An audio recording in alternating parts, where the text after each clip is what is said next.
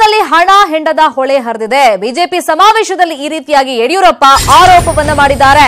ರಾಜಕೀಯ ಆಟಕ್ಕೆ ಕುಂದಗೋಳ ಜನ ಬೆಲೆ ಕೊಡೋದಿಲ್ಲ ಅನ್ನೋ ವಿಶ್ವಾಸವನ್ನು ಕೂಡ ಯಡಿಯೂರಪ್ಪ ಅವರು ವ್ಯಕ್ತಪಡಿಸಿದ್ದಾರೆ. ಕುಂದಗೋಳದಲ್ಲಿ ಮತಪ್ರಚಾರ ಭರಾಟೆ ಜಾಸ್ತಿ ಆಗ್ತಾ ಇದೆ, ಜೋರಾಗಿ ನಡೀತಾ ಇದೆ. ಇವತ್ತು ಸಮಾವೇಶದಲ್ಲಿ ಬಿಜೆಪಿ ನಾಯಕರು ಸಾಕಷ್ಟು ಸ್ಟೇಟ್ಮೆಂಟ್ಗಳನ್ನು ಕೊಟ್ಟಿದ್ದಾರೆ.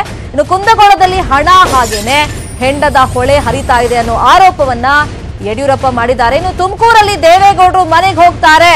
ಕಲಬುರಗಿಯಲ್ಲಿ ಮಲ್ಲಿಕಾರ್ಜುನ್ ಖರ್ಗೆ ಸೋಲ್ತಾರೆ ಅಂತ. ಇನ್ನು ಜೊತೆಗೆ ಕೋಲಾರದಲ್ಲಿ ಮುನಿಯಪ್ಪ ಕೂಡ ಮನೆಗೆ ಹೋಗ್ತಾರೆ ಅನ್ನೋ ಭವಿಷ್ಯವನ್ನ ಯಡಿಯೂರಪ್ಪ ಅವರು ನುಡಿದಿದ್ದಾರೆ. ಇನ್ನು ವೀರಪ್ಪ ಮೊಯ್ಲಿ ಕೂಡ ಸೋತು ಮನೆಗೆ ಹೋಗ್ತಾರೆ ಅಂತ ಹುಬ್ಬಳ್ಳಿ ಬಿಜೆಪಿ ಸಮಾವೇಶದಲ್ಲಿ ಯಡಿಯೂರಪ್ಪ ಅವರು ಭವಿಷ್ಯವನ್ನ ನುಡಿದಿದ್ದಾರೆ. ಈ ಮಾತನ್ನ ಈಗಾಗಲೇ ನಮ್ಮೆಲ್ಲ ಮುಖಂಡರು ಹೇಳಿದ್ದಾರೆ. ಕುಂದಗೋಳಲ್ಲಿ ಹಣದ ಬಲ, ಹೆಂಡದ ಬಲದಿಂದ ಚುನಾವಣೆ ಗೆಲ್ಲಕ್ಕಾಗೋದಿಲ್ಲ ನಾವೆಲ್ಲ ಸ್ವಾಭಿಮಾನಿಗಳಿದ್ದೇವೆ. ಈ ರಾಜಕೀಯ ದೊಂಬರಾಟಕ್ಕೆ ಇಲ್ಲಿ ಅವಕಾಶ ಕೊಡೋದಿಲ್ಲ. ಈ ಮಾತನ್ನ ನಮ್ಮೆಲ್ಲ ಮುಖಂಡರು ಹೇಳಿದ್ದಾರೆ, ನಿಮ್ಮ ಸಮಕ್ಷಮ. ಈಗಾಗಲೇ ನಮ್ಮೆಲ್ಲ ಮುಖಂಡರು ಹೇಳಿದ್ದಾರೆ, ಈ ಲೋಕಸಭಾ ಚುನಾವಣೆಯಲ್ಲಿ ಕನಿಷ್ಠ ಇಪ್ಪತ್ತೆರಡು ಲೋಕಸಭಾ ಕ್ಷೇತ್ರ ಗೆಲ್ತೇವೆ.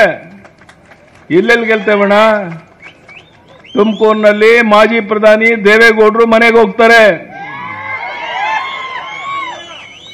ಕಲಬುರಗಿನಲ್ಲಿ ಮಲ್ಲಿಕಾರ್ಜುನ ಖರ್ಗೆ ಅವರು ಮನೆಗೆ ಹೋಗ್ತಾರೆ. ಕೋಲಾರದಲ್ಲಿ ಅಲ್ಲಿ ಕಾಂಗ್ರೆಸ್ ಮುಖಂಡ ಆರು ಬಾರಿ ಎಂಪಿ, ಎರಡು ಸಾರಿ ಸಚಿವ ಮನೆಗೆ ಹೋಗ್ತಾರೆ. ವೀರಪ್ಪ ಮೈಲಿ ಮನೆಗೆ ಹೋಗ್ತಾರೆ. ಈ ಲೋಕಸಭಾ ಚುನಾವಣೆಯಲ್ಲಿ ಕನಿಷ್ಠ ಇಪ್ಪತ್ತು